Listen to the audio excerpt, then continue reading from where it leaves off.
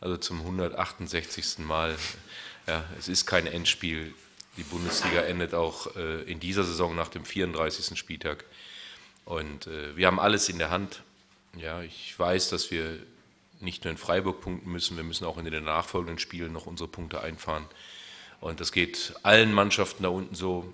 Ja, und ich glaube, der Druck ist gleich verteilt auf jeden Gegner, der uns sich jetzt noch im Weg stellt und oder auch dann unten mit uns um, die, um den begehrten Platz in der Bundesliga kämpft. Und deshalb wird es von außen sehr gerne natürlich hochgehängt, dieses Spiel. Das müssen wir akzeptieren, das ist so. Äh, ich glaube, wir intern haben seit Wochen einen guten Weg gefunden, wie wir mit diesem Druck umgehen. Und darauf wird es jetzt auch die letzten vier Spiele ankommen.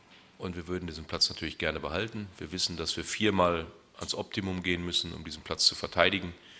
Ja, und das werden wir versuchen. Und ich gehe davon aus, dass die Mannschaft das auch hinbekommt.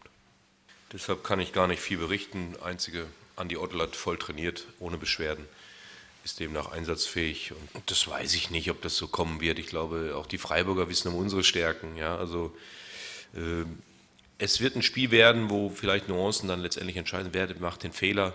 Ja, ich erwarte schon eine Freiburger Mannschaft, die nach vorne spielen will. Das kann sie. Ja, das hat sie äh, immer versucht, egal wo sie aufgetreten ist. Es ist eine spielerische Mannschaft. Ja, und äh, darauf müssen wir uns einstellen.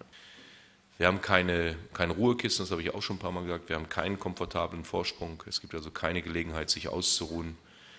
Ja, und deshalb, das weiß die Mannschaft. Sie trainiert seit Wochen denke ich, äh, sehr, sehr gut. Sie zieht sehr, sehr gut mit. Sie ist sich dieser Verantwortung auch bewusst, die sie gegenüber den Fans hat, gegenüber der Region hat. Wir werden alles versuchen, den Klassenerhalt zu schaffen. Eine Garantie kann ich Ihnen nicht geben, können meine Kollegen Ihnen nicht geben, die die anderen Vereine trainieren.